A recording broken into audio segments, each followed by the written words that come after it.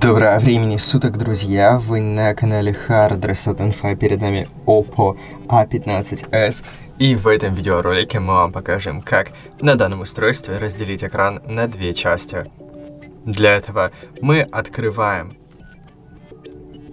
наш телефон, точнее любое приложение на нашем телефоне, которое будет в верхней части экрана. К примеру, давайте выберем, ну, Play Market.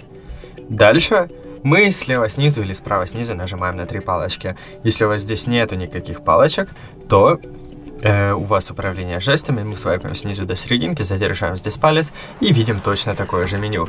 Здесь в правом верхнем углу нажимаем на три точки и выбираем пункт «Разделить экран» или «Разделение экрана». Дальше выбираем какое-то приложение, которое будет в нижней части экрана, к примеру, Google Chrome. Вот и все. Теперь я одновременно могу пользоваться сейчас Play Market и Google Chrome.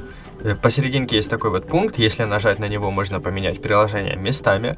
Можно, нажав на крестик, закрыть эти два меню. Если потянуть этот пункт вверх, ну, ту, эту палочку вверх или вниз, мы можем поменять размер каждого из приложений. А если потянуть в самый верх или в самый низ, мы открываем полноэкранный режим на нашем устройстве. Больше видео об этом устройстве смотрите у нас на канале, подпишитесь, поставьте лайк и всего хорошего. До свидания.